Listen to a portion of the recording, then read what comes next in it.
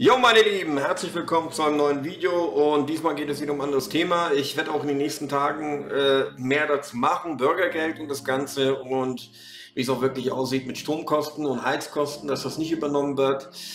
Ähm, dass es alles Quatsch ist, was in Medien sagen, dass es wieder mal ähm, Aufwirbeln ist. Mein Kanal wird nicht größer leider, darum bin ich auf eure Unterstützung. Ihr bitte tut äh, meinen Kanal verteilen, tut den teilen zu Bekannten, über Facebook, alles mögliche, weil ich wurde von YouTube gesperrt.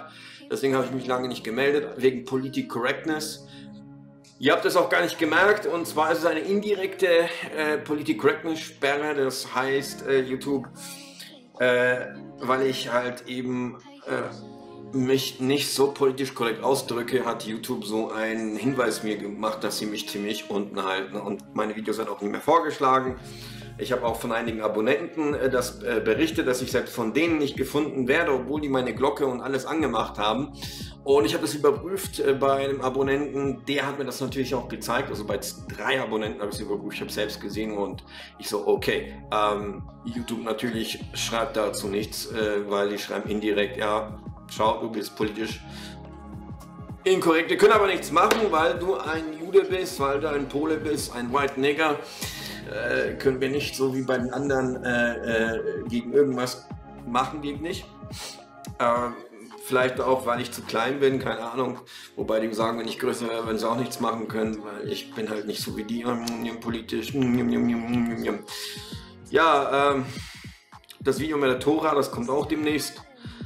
Und der Tanach und den Talmud, Erklärungen zum Judentum weil es mir sehr wichtig ist, darüber auch äh, zu reden, weil auch vieles leider nicht gesagt wird. Aber jetzt kommen wir zurück zum Thema Bundesagentur für Arbeit. Macht,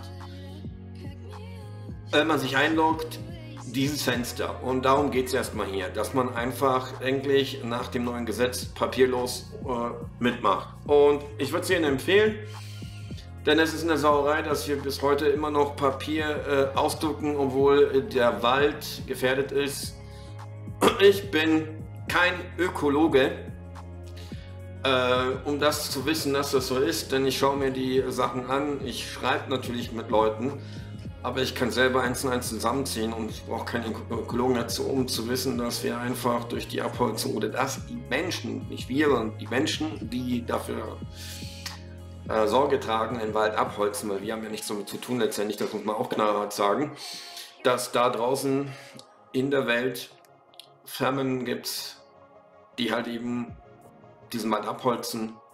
Dazu werde ich auch ein Video drüber machen.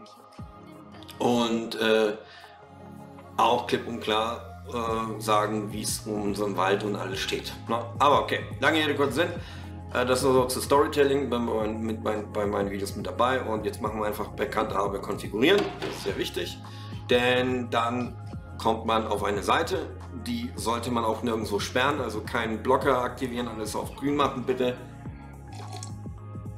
Und jetzt äh, zeige ich euch alles, wie das Ganze funktioniert. Zuallererst werdet ihr gefragt, ähm, was ist, also ihr werdet erstmal gefragt, ja, dürfen wir, äh, einen Bescheid nachweisen, schreiben werden Ihnen standardmäßig per Post zugeschickt, die können Sie online aktivieren. Also dürfen wir das machen. Und ja, bitte macht das, weil das ist viel schneller. Nächstes Jahr nach dem Wechsel Bürgergeld musste ich das Amt jetzt vorbereiten. Ich habe mich ein bisschen schlau gemacht beim Amt, die müssen jetzt schon äh, solche Sachen machen, damit das Bürgergeld reibungslos vonstatten äh, gehen kann. Also, also sozusagen rechtliche Schritte, juristische Schritte müssen eingeleitet werden. Das sind diese letztendlich. Wir müssen als User äh, da zustimmen, ansonsten können die das nicht machen. Okay? weil so einfach ist das nicht, wie man sich denkt. Dann, der, da wir DSGVO haben, Datenschutzgrundverordnung, muss auch der User einwilligen. Okay, ich mache jetzt ein Kreuzchen, ich bin da einverstanden. Dann geht es natürlich weiter. Wir haben also erst einmal ähm, Benutzerkonto, wir haben erstmal persönliche Daten, Benachrichtigung, Zustellungsoption. Wenn wir auf Benutzerkonto klicken, haben wir also dementsprechend Möglichkeiten jetzt hier schön zu sehen, was wir alles so haben und ob wir auch zwei Faktor-Verifizierung machen möchten. Das würde ich auch in Zukunft empfehlen. Das äh, werde ich aber in einem extra Video machen. Heute geht es nur um ein bisschen so diese, nur diese Funktion, äh, dass man da einfach das anklickt und das auf jeden Fall äh, macht. So, ähm, den Rest machen wir ein extra Video, weil weil, weil, weil das ist sehr viel und da möchte ich äh, es äh, etwas äh, professioneller halten und nicht äh, zu lange.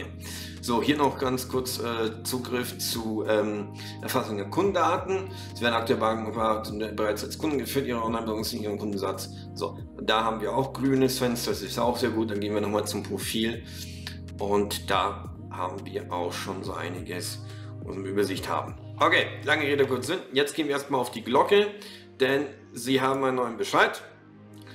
Und wenn neue Bescheide ist, kriegt man das mit der Glocke und dann sieht man hier Änderungen an die Aufnahme zur Mitwirkung. Und das muss ich tatsächlich machen. Ich muss das mal anklicken.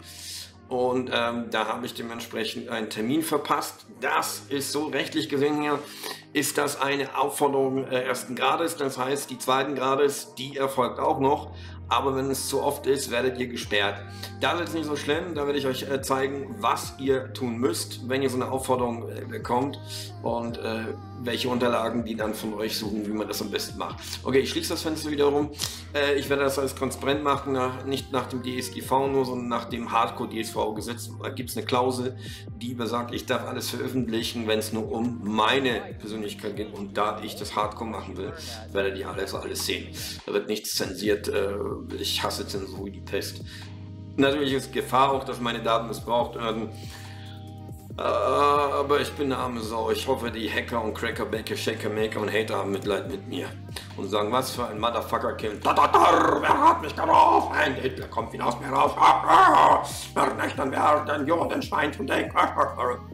Dann hoffe ich, dass mit, Mitleid haben. Okay, lange in der kurze. Wir gehen nochmal auf Startseite. Und wir haben Nachrichten erhalten. Nein, brauchen wir nicht. Und zwar klicken wir auf zum Profil wieder, um die Nachrichten zu sehen. Und wenn wir auf diesen Posteingang klicken, haben wir Leistungspostfach und Vermittlungspostfach. Ist auch mittlerweile neu. Wenn wir auf Vermittlungspostfach klicken, dann sehen wir, dass da Vermittlungen sind. Diese Vermittlungen sollten gar nicht existieren, weil ich gesagt habe, dass ich mich selbstständig machen will. Aber leider, leider äh, ist das einfach so, dass die immer noch drin sind äh, und man halt halt eben diese Aufforderung hat. Diese ganzen Vermittlungen werde ich euch noch zu den Firmen was sagen, welche Firmen Arschlöcher sind, welche Firmen Bullshit sind. Okay, also diese ganzen Firmen kenne ich. Das sind meistens Zeitarbeitfirmen. Das wird sich einiges ändern, äh, dass man nicht mehr Zeitarbeitfirmen machen muss, denn Zeitarbeitfirmen sind der größte Lump und Betrug und auch der Olaf Schulz wird das ein bisschen ändern, dass die Leute sich nicht mehr über Zeitarbeitfirmen äh, bewerben müssen. Denn auch da äh, ist es so, dass die Zeitarbeitfirmen die größten Hurensöhne sind der Welt. Und äh, egal wie sie sich Netz anbieten, sie sind Arschlöcher. Ich habe das Erfahrungen gemacht. Ich habe mit einem ehemaligen Zeitarbeitfirmen-Chef gesprochen, wie das ist. Ähm, ich habe ein Interview mit ihm gehabt, konnte aber nicht veröffentlicht werden, weil der hat Angst gehabt, dass halt eben er seinen Job verliert, wirklich alles verliert. Weil wenn sie, dann werden sie dich vernichten. Ne? Aber dazu will ich noch mal Stellung nehmen. So, bis zum 7.3. war was, danach nichts mehr. Jetzt melden wir uns ab. Das war es eigentlich von mir erstmal von diesem Video, weil wir kommen noch zu anderen Sachen. Ähm, wenn ihr einen Termin habt beim Amt und der ist in der Früh, geht hin. Ich gehe jetzt gleich schlafen, wir haben 21.27 Uhr. Geht hin und sagt, was ihr wollt und was ihr durchsetzen, auch wenn das Amt nicht am Anfang zuhört. Wenn die nicht zuhören, macht eine Klage am Sozialgericht, geht aufs Ganze, aber lasst euch nie zu irgendwas zwingen. Sind nicht berechtigt, euch zu zwingen. Da sind sie nicht. Da hat sich schon einiges geändert und ihr müsst euren Weg finden.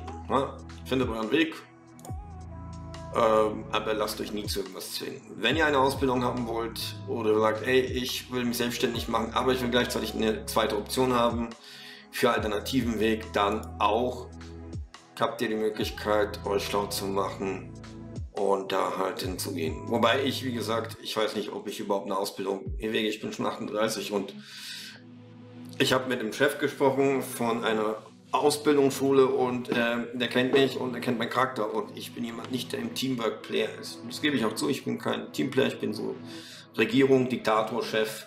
Das kann ich machen, das habe ich ausprobiert, das ging immer ganz gut. Das haben die Leute gemocht, ich kann klar angeben, Befehle aber vom Befehl entgegennehmen von Leuten kann ich nicht. Werde ich auch nicht, äh, nur von Gott. Ja, wenn dann nur den einen, den ewigen, den Jahre. Alle anderen können gestohlen bleiben, weil die Leute leider Arschlöcher sind. Wenn die Leute, wenn die Leute nicht so Arschlöcher wären, wenn die ein bisschen korrekter wären und die Gabe, die Auren von Leuten noch zu lesen, wenn die ein bisschen korrekter wären, dann könnte ich da äh, äh, was machen. Ja, aber leider ist das halt nicht so. Okay. Das war's von mir. Bis morgen.